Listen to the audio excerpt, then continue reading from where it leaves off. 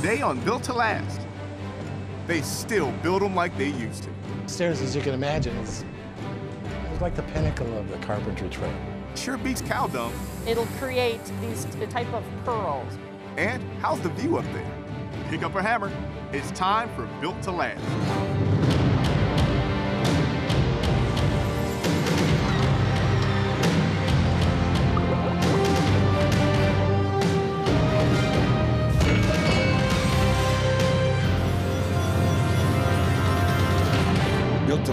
Brought to you by the Chicago Regional Council of Carpenters Labor and Management Committee and Simpson Strong Tie.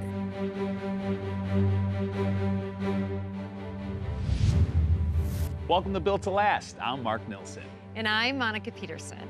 Impressive structures have always been a balance between the artistry of the intricate and the technicality of scale. On today's show, we'll explore the exquisite handwork on display in beautiful mansions and what it takes to erect our towering skyscrapers. So, what if I told you that there was a way to clean our drinking water and turn the byproducts into an environmentally friendly fertilizer? Monica, I would tell you that's a million dollar idea. Well, that's exactly what the folks at the Metropolitan Water Reclamation District of Greater Chicago have in mind. but first, carpenters know they can be the first line of defense in a hospital. So I first met my uh, future daughter-in-law in 2013 when my son graduated the police academy. Just looking at them, the family knew that Jen was a keeper. Great girl. Later on that year, she was diagnosed with leukemia. They ended up doing a bone marrow transplant once they found a, a match. Stuck in the hospital, uh, my son visiting every single night, uh, as much as he could between work. March 6, 2016, she acquired a uh, bacterial infection. Being in the hospital, she acquired it. Um, she's had the chemo, her immune system's again depleted. Um, I got the call from my son on March 8th. And that's what they're trying to minimize when we come We've been teaching ICRA. For almost 10 years now. Infection Control Risk Assessment, a nationally approved uh, set of procedures that brings you to the what you have to do to do construction inside of a hospital. When you go into a healthcare facility, hospital, immediate care, uh, and you have to do rem- remodeling or demolition work and change out some ceiling tiles, you have to be able to control the dust. The dust in the rooms when we do construction can uh, affect patients and patient health. It's possible that someone who's immune compromised could get very sick off of the dust that we create. Infections are huge problems in the hospital. There's over 2 million infections that can occur in the hospitals. We call them hospital-acquired infections. Um, and about 110,000 can die from those infections. There's materials, um, hazardous materials, there's lead being used, uh, and worse, there's the germs, the uh, bacteria, um, mold. So we teach them, if you're working in a hospital, make sure whatever you're, you're creating, the dust, uh, the debris, you're kicking up any uh, materials, make sure it doesn't get into the rest of the building. All the supervision at Tonn and Blank goes through a 24-hour ICRA class. The UBC um, Carpenters ICRA training has been uh, instrumental. Um, a lot of all of our Tonn and Blank field supervision uh, has taken that training, and even the veterans that have uh, been in the construction and hospital construction industry for years can go to that class and take something away. What we're doing here is training carpenters in uh, infection control risk assessment. The class covers containment of the work areas. We went into the classroom first and we do a PowerPoint. And then we bring them out here into this area, which is set up just for building a soft wall. What it can be done in one work shift, we're probably going to use a soft wall. We're going to tape everything to the floor, to the walls, to seal everything off so that we don't have any air leakage. Plastic wall, once we have it up, we're going to have our zippers ready to go into the soft wall.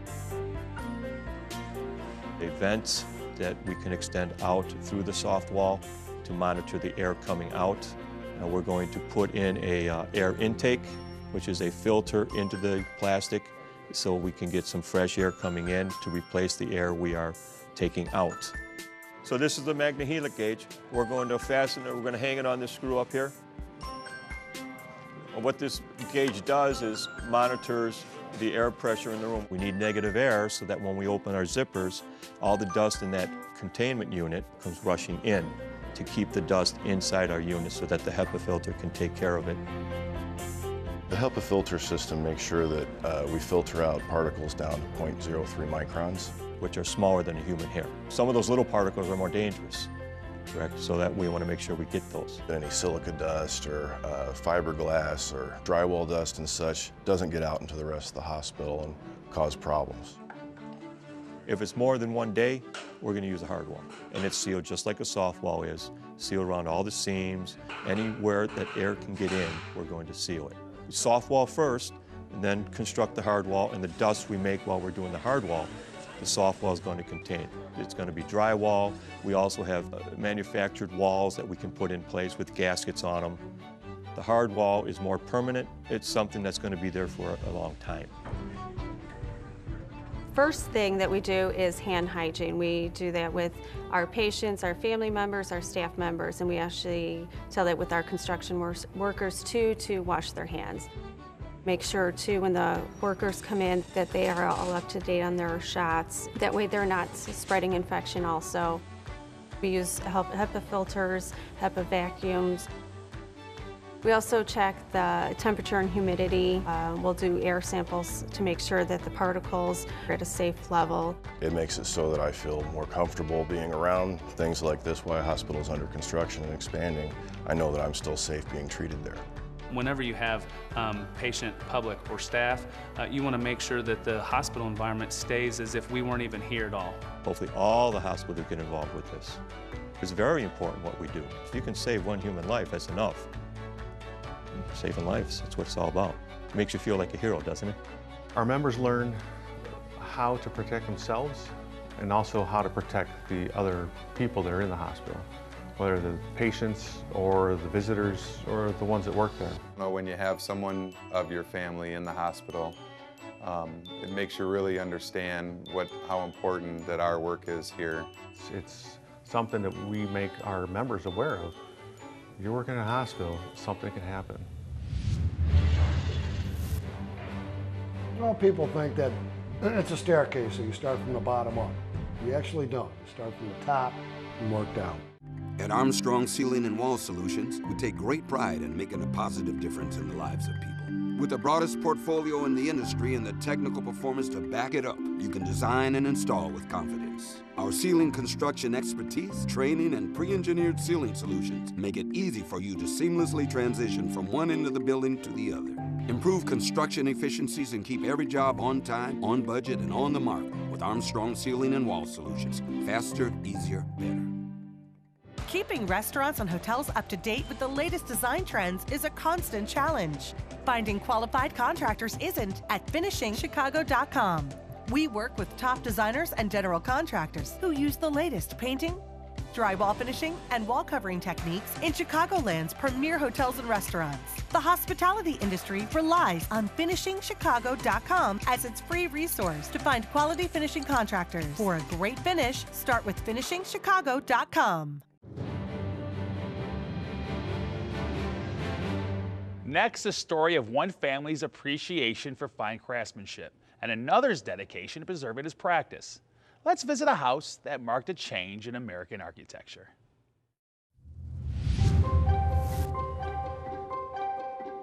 Chicago would be remiss if it didn't acknowledge the significance of the architecture on Prairie Avenue. Um, probably the most significant is the Glessner House. At the time they bought the property, Prairie Avenue was the most exclusive residential street in the city.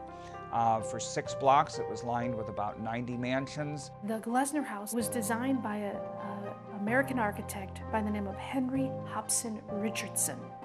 It was completed in 1886 and probably considered one of the single most important residential designs in the country. It was distinctly different from the other houses being built um, on the street and in the city for that matter. The style was known as Romanesque. It was a heavy, rusticated, rough-cut stone, minimal amount of ornamentation. In a rather radical move, rather than facing the main rooms towards the street, uh, he pushed the sides of the house as close as he could towards the street sides and created a large private courtyard in the middle. This resulted in all of the main public rooms facing south into this beautiful sun-filled courtyard that also provided an unusual level of privacy for an urban residence. The neighbors actually did not really appreciate or understand the design of the house. George Pullman, who lived across the street, famously said, I don't know what I ever did in my life to deserve having to look at that every day when I go out my front door. Today it functions as a house museum where people can go and actually experience what it was like when the Glessners lived there. All of their things are there. Their collections are still on the walls. Their art, their architectural fragments are all there. It's amazing. The dining room is the largest room in the house. Uh, the original table would have extended to seat 18 people. The most interesting feature of the room is the 23 karat gold on the ceiling. The idea for this was practical. There's no chandeliers in the house. The Glessners preferred the use of wall sconces, and the idea was that the gold would reflect the light from the sconces and cast a soft light down onto the table. One of the things you'll notice going through the house is the level of craftsmanship. And there's a couple things in particular to notice. One is the types of materials that are used quarter sawn oak. Uh, this is a way of uh, cutting the wood to maximize the beauty of the grain. And what's interesting is you see it not just in the public spaces, you actually see quarter sawn oak in the kitchen and the servants' quarters as well. But you also have to think about the craftsmen that were fashioning the moldings, the bookcases, the built-in furniture. Chicago in particular was, uh, was fortunate because um, it was home to a huge number of European immigrants, German, Eastern European, who brought with them the skills to carve wood.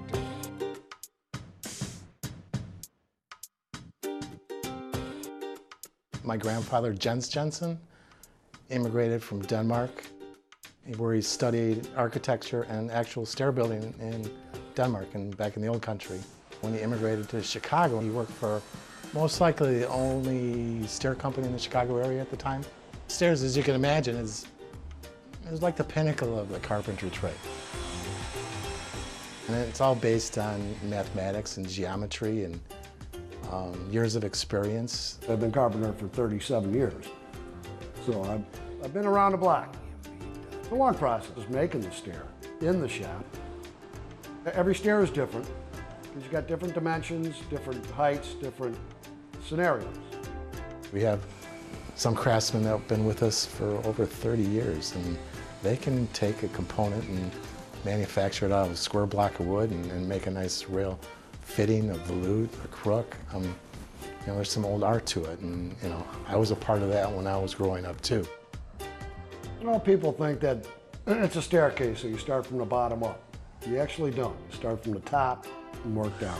It's a wedging system, and once you get the tread in, you wedge, and then you can put the riser in and you wedge it. As you drive that wedge in, it gets tighter and tighter and tighter, and then the glue sets up and that's all you need. This uh, staircase is unique. There's a tighter radius on top and a tighter radius on the bottom. When I started, you know, everything was hand, all done by hand. I mean, machines, routers, uh, but everything was laid out, calculated by hand. I know how to do it from hand. I can, I can build a custom staircase without a computer. It would be a challenge today it's been many years since I've done that, but I believe I could still do that. You know, there's always a struggle between, in our world, between union and non-union. And Lakeshore Stair Company has been a union stair company for as long as I can remember.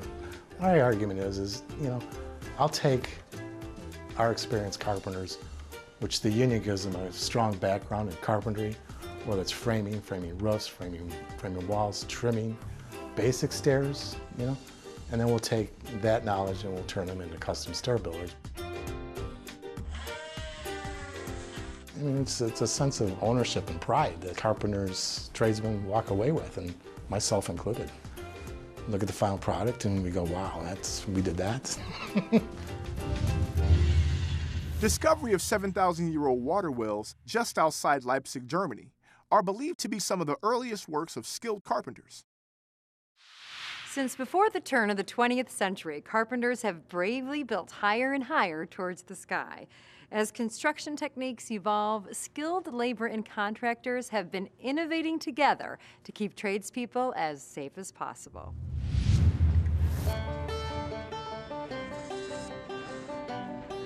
I think innovation in construction has to start in the trades. It is a dangerous, dangerous business. You know, we're using our bodies a lot, and uh, there's a lot of uh, on these production jobs when you got to get things done.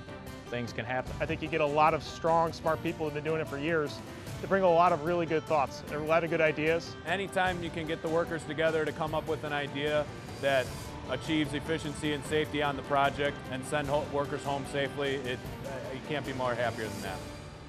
Our ambition has always driven us towards the sky, but danger is often ambition's dance partner. The invention of the electric elevator freed us to build higher than a handful of stories, and the ceiling of structures became as limitless as our imagination. The evolution of materials and technique allowed us to build higher still, but with every additional floor, the risk increased as well. Our brave workers practiced their trades in the clouds, changed the face of our cities, and grabbed lunch. Steel and masonry evolved into reinforced steel and concrete, and we learned how to pour hundreds of feet in the air. Hundreds turned to over a thousand. The level of danger rose as well, demanding more innovation in safety. From my point of view, the transfer from individuals from one elevation to a higher elevation is a risky business in itself. Adjustable Forms is a very progressive-minded company. You know, although we're very old and established, um, we try to really be innovative in what we do.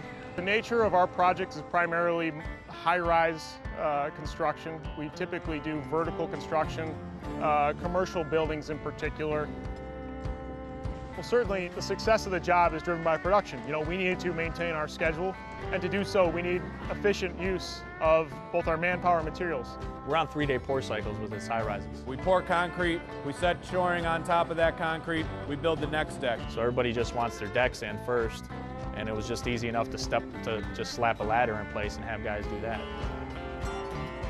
So the CRCC has been a really great resource for us in terms of bringing good young talent into adjustable forms. I had had a little bit of stairs experience working for another co concrete company and uh, so they, they gave me the opportunity to work with an, an older guy named Scotty in the stairs, right? He was an expert. It's very critical to our success to have new blood in the trades. You know, as, as some of the older generation retires, you know, it's very important that we have young guys stepping in and filling those roles and a lot of those roles become leadership roles. We were so fast that we started framing the stairs before there was a deck to frame them to.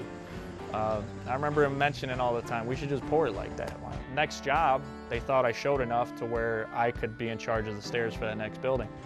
So for that, from the ground up from that building, I would frame the stairs before there was a deck to frame them to. The idea is that it's safer because we're not using ladders to climb from floor to floor now. My safety director, Jeff Phillips, he was uh, definitely somebody who uh, who kind of worked with me to make sure we were doing it safe, and then they saw the value in how safe it was. It was a collaboration between field and office and finding a better way to do something. Adjustable Forms embraced it and incorporated it into their three-day pour cycle. First, we, we take the uh, 3D CAD drawing and the building information model, the BIM model. Uh, we get measurements based off of that BIM model and we send it to the carpenters in the field. The survey technicians plot those lines for our carpenters to get their measurements of the landings and the risers ahead of the deck for the floating stairs. From then we start to build the, the base of the forms. The forms continue to, to grow and we add the safety rails on those. The rebar is then installed. The risers are installed shortly after that. And shortly after that, we're pouring and finishing the concrete. All within a three-day process. One of the, the main benefits of taking the stairs up ahead of the working deck is that you're taking a system in place that's already part of the structure at no additional cost, and you're just finding a better way to build it. If we weren't using the floating stairs, we would have ladders or stair towers in place. Ladders we have to purchase, stair towers we have to build. Since we're using the floating stair method, we're already building a finished product into the project. So you're taking something where you don't have to drive costs upward to the owner, to the general contractor, you just work in a more efficient, better way. I, I don't know how many times people came up to me when I was framing those stairs, and these were guys who were in concrete for, for years, and they'd be like, oh, I've been doing this for 30 years. I've never seen anything like that. We're only as good as the people that we employ, and Frank has been instrumental in a lot of ways in helping us progress.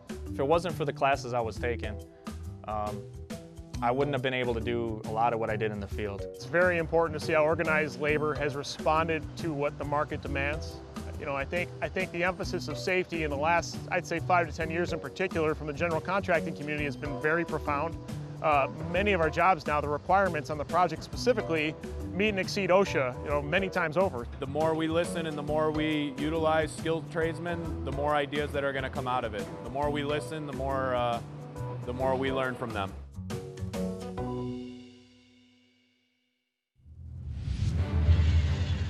Once we're up into full production at that 8 to 10,000 tons, we'll have enough product to be able to grow 1 billion pounds of potatoes.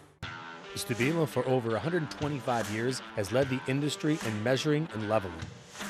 Still manufactured in Germany since 1865, tradesmen rely on Stabila every day for its precision and durability. We continue to revolutionize the way we build with our lasers, levels, and laser distance measuring tools on commercial and residential job sites around the world. Stabila, how true pros measure. Meet the new family of Blaze laser measures from Bosch. Go ahead, turn it on and start measuring. It's that simple. The Blaze family offers a wide range of functions to tackle any measuring job. Extend your reach with accuracy up to a 16th of an inch.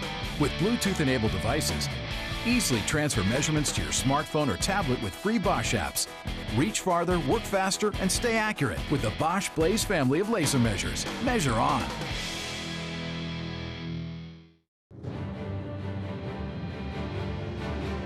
Raw sewage might not be a topic for polite dinner conversation. Well, at least that's what my grandma says. But at the Stickney Water Treatment Plant, there is nothing more exciting. I'm a real big steelhead fisherman. I love fly fishing. I love big fish. Going fishing is a rich thread in our nation's tapestry. And generation after generation of Americans have enjoyed casting a line. But nothing brings a fishing trip to a halt like algae blooms. Fish are harmed by algae blooms because it's toxic and it also kills their, their food source. So the fish start dying off and you get big fish kills. Algae blooms are caused by phosphorus, a unique mineral that gets into the water via agricultural runoff. If you have large amounts of phosphorus um, and nitrogen in a water stream, it depletes the oxygen from that water stream. That affects uh, fish, plant life, aquatic life. But as dangerous as phosphorus can be for fishing, it is equally essential for another pillar of American life agriculture. Phosphorus is an integral part of the fertilizer that helps plants grow. A lot of times it's mined either in Florida or uh, there are some deposits in Morocco, uh, but some forecasts show that they'll be depleted within about 100 years. At the Stickney Water Reclamation Plant in Illinois, scientists, engineers, and city officials are tackling these problems by working on an environmentally friendly way to remove phosphorus from the water and then to repurpose it as a groundbreaking new fertilizer. The Water Reclamation District is dedicated to becoming the utility of the future. Ostara's technology is a solution to managing the overabundance of phosphorus while creating a revenue stream through the sale of the fertilizer. This is a win for the environment as well as Cook County taxpayers. An endeavor of this magnitude and a facility this complex needs highly trained and specialized workers. From the Carpenters Union and Millwright standpoint, we are very proud to be part of this type of building project that is going to make our complete Chicago, greater Chicagoland area safer, cleaner, more productive. Not only did carpenters and millwrights play an essential role in building the facility, but millwrights are also responsible for the mechanical and industrial parts of the plant. They precision set the equipment, align pumps and motors. They install conveyors. In short, millwrights are ensuring that the facility and its reactor system function properly. So how does it all work? Right now you're standing in our phosphorus recovery facility. Through our wastewater process, uh, we have solids and liquids. We take the solids, uh, we treat them, uh, we then run them through a centrifuge, and that extracts the liquid from it. And we're going to take that liquid and we're going to add sodium hydroxide and magnesium. And from there, then the flow will move over to the three reactors. Actually, that's where the magic happens. At the bottom of the reactor itself, at the cone, we add the extra chemicals we need to form the phosphorus product, as well as adjust the pH so that we can make the reaction happen. And then part of that flow just comes back down this recycle pump and just keeps recycling through the reactor. You're just creating a crystal that slowly grows. You're creating somewhat of a, of a pearl looking or a pellet type of product. Everything that we showed before and did produces this product of phosphorus. And that's called struvite. And that will be used as a fertilizer. Over the years, you've heard people concerned about runoff water from anywhere that uses fertilizer. And that's what we're making here. But what we're able to make from a wastewater treatment facility is a very environmentally and agriculturally friendly type of fertilizer. Normally you'd put phosphorus on agriculture. If there's a heavy rainstorm, it'll be washed away. This will not be washed away. It'll be used when the plant is ready to use it. That works well in terms of stormwater runoff. Um, it works well in terms of conserving phosphorus as a mineral along with achieving its primary goal of benefits for agriculture and the environment through conservation and sustainability, this project brings even more positives for the community. This facility could also help the taxpayers of Cook County greatly in that now the MWRD becomes a supplier and can sell. And how much can they produce at the facility? We're going to produce probably approximately 2,500 to 3,500 tons of product per year. That equals about a billion uh, potatoes uh, that can be produced, and some could say more importantly, 250 million bags of potato chips.